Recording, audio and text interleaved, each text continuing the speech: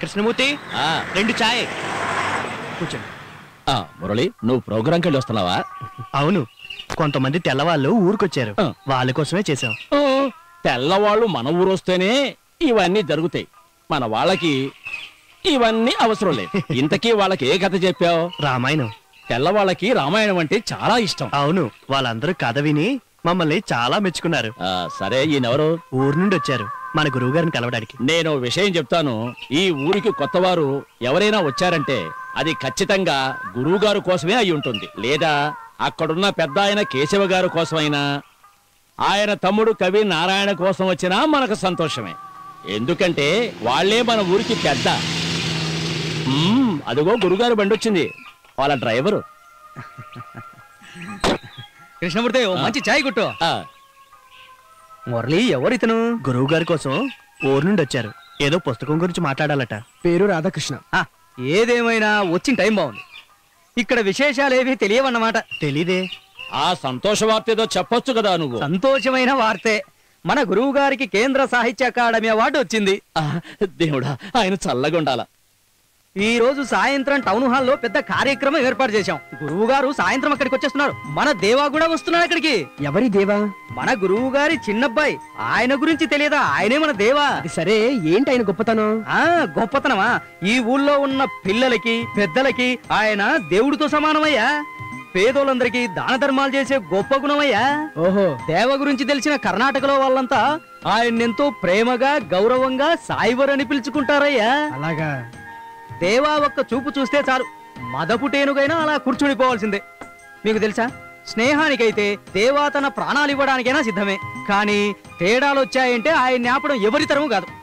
అదే దేవా ప్రత్యేకత. అలాగైతే దేవగారు ఒకసారి చూడాల్సిందే. సాయంత్రం టౌన్ హాల్కి రండి. ఆయన ఎప్పుడు వస్తాడో ఎప్పుడు వెళ్తాడో ఎవరికి తెలియదు.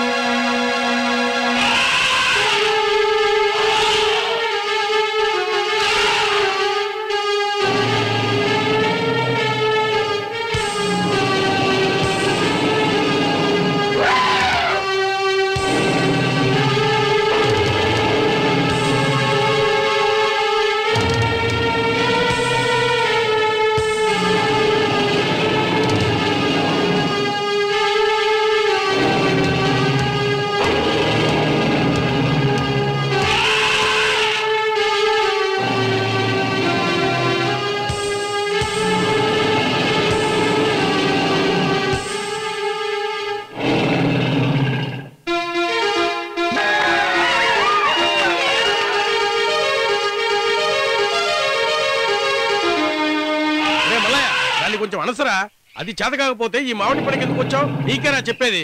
కర్ర తీసుకొని దాని కుడికాల మీద గుచ్చరా. ఏం చేసినా ఆగేయటం లేదయ్యా. ఆ అసలైన ఏడురా బాగా మందు తాగి పడుకున్నాడు. కష్టం. పని చేయడానికి వచ్చినాడు మందు కొట్టి పడుకుంటే పనులన్నీ ఇలాగే ఉంటాయి. ఏడురా ఇందాకనగా బుక్ తెస్తానన్న కేశవ గాడేడి కేశవ! వచ్చానయ్యా మీరు చెప్పింది తీసుకొచ్చినాను. పన్నెండో పేజీ తీరా. తీస్తున్నానయ్యా మదం ఎక్కిన ఏనుగు లక్షణాలు ఎలా ఉంటాయో చదువు. మీరు చెప్పింది ఇక్కడే ఉందయ్యా. మదపుటేనుకు పిచ్చెక్కితే తిండి తినదు. ఆ పెట్టండి రా తిండి. అప్పుడు తెలుస్తుంది. పెట్టండి.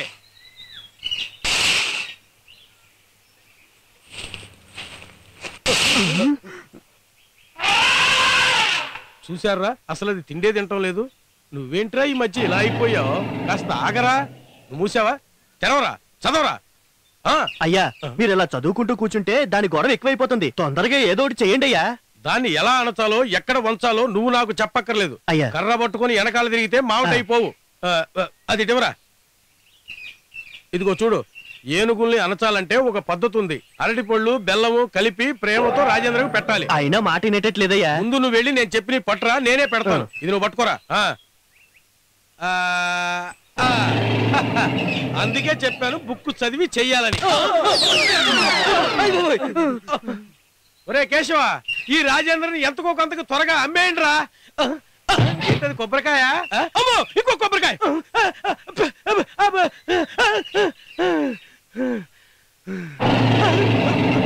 నేనేంటి ఇక్కడ కూర్చు కూర్చున్నాను? ఎలా వచ్చాను? ఇప్పుడు ఎలా కిందకి దిగాలి? అయ్యో దేవా వస్తున్నట్టున్నాడు. ఒరే దేవా నువ్వు వచ్చి ఎలాగైనా కింద దించరా? పార్వతి సుభద్ర వాళ్ళు వచ్చేసారు హారతి పట్రా.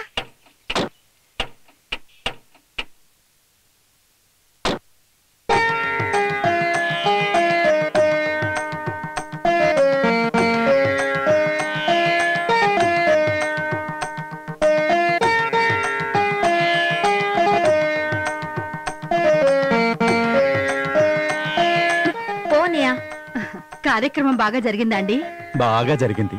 వాడి రాకతో అంతా దివ్యంగా జరిగింది. అయితే ఈ కార్యక్రమం జరగడం మంచిదైందనమాట ఆ? లేకపోతే వాడు అంత దూరం నుంచి ఇక్కడికి వచ్చేవాడా? చూడండి వాడు ఏమీ తెలియనట్లు ఎలా నవ్వుతున్నాడో.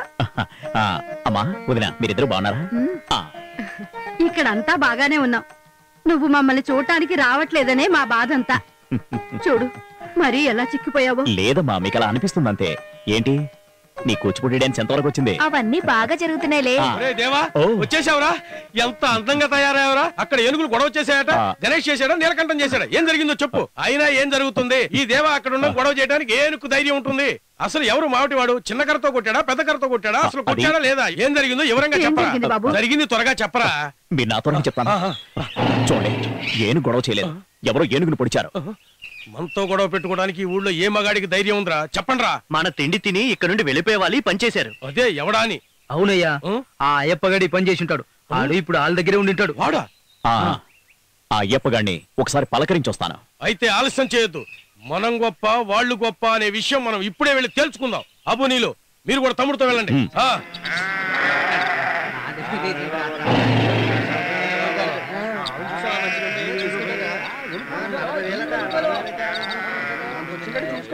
ఆ.